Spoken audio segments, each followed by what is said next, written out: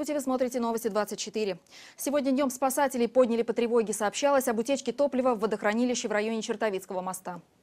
В разгар строительных работ на буровой установке лопнул шланг. Машинное масло вылилось в водохранилище. Чтобы очистить воду, спасатели использовали 30 килограммов абсорбента – вещества, впитывающего масло. После чего с помощью специального оборудования начали собирать смесь. Бон заграждение пос- поставили, сейчас его извлекли на берег э, вещество вместе с маслом. Потом все это будет собираться для, для- для дальнейшей утилизации. По словам спасателей, в воду попало 3-5 литров масла. Площадь загрязнения около 15 квадратных метров. Экологи, уже смотревшие место ЧП, успокоили. Серьезной опасности нет. Причины массового заболевания военнослужащих в Острогожске установлены. Там завершила работу комиссия Минобороны. Выявлены грубые нарушения. Информация об эпидемии войсковой части в Острогожске появилась в конце сентября. Сведения о количестве заболевших были разные – от 120 до 700 человек. И вот сегодня руководитель аппарата уполномоченного по правам человека Воронежской области привел имеющиеся у него свежие данные. В госпитале в Воронеже с воспалением легких находится 54 солдата, в Курске еще 15. Инфекционная причина где-то в части лежит. Вот, потому как вот все-таки аномально это все, вот именно такие последствия в виде воспаления легких и, соответственно, несвоевременное направление людей, которые уже начали серьезно заболевать в госпиталь. Причина же вспышки пневмонии – то, что солдаты в холод ходили в мокрой одежде, а в случае заболевания не обеспечивались медикаментами. Факты, выявленные комиссией, выложены на официальном сайте Минобороны. Отсутствовало горячее водоснабжение в отдельных казармах, в том числе отопление помещений, предназначенных для сушки обмундирования.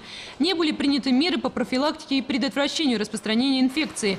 Начальника медслужбы, командира части уже уволили. Но руководитель аппарата, уполномоченного по правам человека в нашей области, намерен все же лично посетить злополучную часть. Наталья Горохова, Валерий Бобкин, Новости 24. Воронежским ветеранам три месяца не выплачивают компенсации по оплате услуг ЖКХ. Об этом сообщил сегодня главный профсоюзный деятель нашей области Алексей Овчинников. Три месяца не выплачиваются льготы нашим ветеранам. Три месяца. Я письмо официально написал Наталье Ильиничне. Чем объяснить? Кто должен на это слово твердое ответить и проинформировать? Этот вопрос был задан губернатору во время встречи Алексея Гордеева с лидерами профсоюзных организаций. Глава области заявил, что впервые об этом слышит. И тут же потребовал объяснения от руководителя Департамента труда и социального развития. Наталья Самойлюк оказалась в курсе. По ее словам, ранее воронежским льготникам начисляли больше средств, чем положено. Все это время департамент разбирался в ситуации и сейчас якобы уже произведен перерасчет. Сегодня пассажиры одного из городских автобусов неожиданно для себя узнавали, что платить за проезд не надо. Более того, горожанам предлагали прямо в пути ознакомиться с работой профсоюзов. Так в Воронеже поддержали Всемирный день действий профсоюзов за достойный труд. Этот автобус 52-го маршрута отправляется в необычный рейс, но путь следования прежний. Так что, спеша на работу, воронежцы и не подозревают, что их ждет. Уважаемые пассажиры, заходите на сегодня бесплатный профсоюзный рейс. А дальше один приятный сюрприз сменяется другим. Прямо в дороге пассажирам предлагают проконсультироваться по вопросам защиты прав трудящихся и рассказывают, как работают профсоюзы. Для многих воронежцев это уже давно забытая организация. Здесь равна не нужны. Где-то что-то, чего-то в жизни все бывает.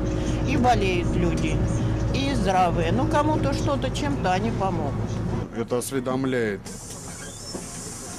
множество людей, которые не в курсе во- текущих вопросов, насущных проблем этого города.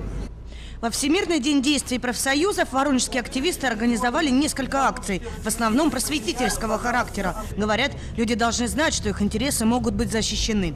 И там, где есть профсоюзы, там у нас практически нет задержки заработной платы. Я вам приведу пример. У нас задолженность по заработной плате составляет по Воронежской области где-то более 20 миллионов рублей. И из них более 18 миллионов на алюминиевом заводе, где нет профсоюзной организации. Возможно, надеются организаторы, кто-то у себя на работе захочет создать профсоюз. Ну а пассажиры профсоюзного бесплатного рейса пользу от таких организаций уже ощутили. Анастасия Ермакова, Александр Федоров. Новости 24. Семьи, переселенные из аварийного общежития на Рабочем проспекте, теперь обживают квартиры в новом доме. Люди впервые в жизни получили собственное жилье. Новоселье состоялось благодаря муниципальной программе расселения из ветхого жилфонда. Здравствуйте. Привет, Оксана. Добрый день. Здравствуйте. Оксана Ульянникова и ее мама встречают главу города уже как добрые знакомые. Говорят, никогда и не мечтали обрести собственную квартиру. Но не было бы счастья, да несчастье помогло. Два года назад, когда Оксана готовилась к поступлению в ВУЗ, их общежитие на рабочем проспекте на три недели оставили без электричества. Я как бы днем работала, и когда я прихожу с работы, уже темно. Я не могла подготовиться, чтобы поступить в институт. Отчаявшаяся девушка обратилась за помощью к мэру, приехавшему в ее школу с проверкой. После этого в судьбе жильцов общежития стали происходить настоящие чудеса. Чуть больше года назад, в сентябре 2010-го, депутаты Гордумы приняли решение о приемке этого общежития из казны Российской Федерации в муниципальную собственность. Сделано это было для того, чтобы здание обрело статус жилого дома, а его жильцы смогли, наконец, приватизировать свои комнаты. Еще через полгода общежитие было признано непригодным для проживания. Дом вошел в муниципальную программу по переселению. А уже в этом сентябре 17 семей стали собственниками новых квартир. Большинство снова соседи. По привычке ходят друг к другу в гости и вспоминают прежнюю жизнь как страшный сон. Умываешься, стоишь, а капает на голову. Вода льется. Все побелка, которая отмокала вся, она вся шла на пол, все ну, ужасные условия были, ужасные. Неудивительно, что после такого новые квартиры кажутся своим хозяевам хоромами.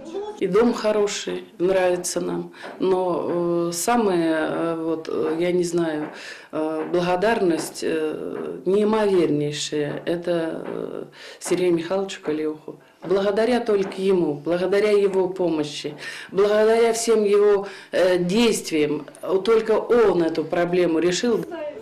Сожалению, признается сам мэр, помочь всем обитателям ветхих домов одной только город администрации не под силу.